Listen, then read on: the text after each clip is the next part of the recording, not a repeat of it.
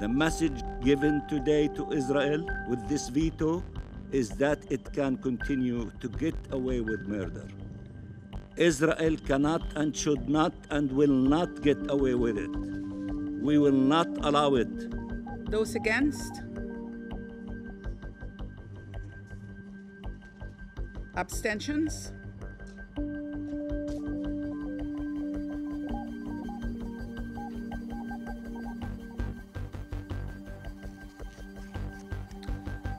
Proceeding with a vote today was wishful and irresponsible.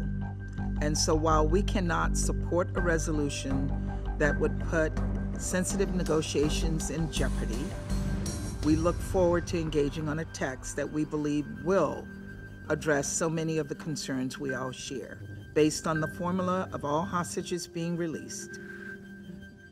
إن شعوب منطقتنا كانت ولا تزال تنظر إلى مجلس الأمن باعتباره عنوان الشرعية الدولية. لكنه لكنه مع الأسف خذلها مرة أخرى.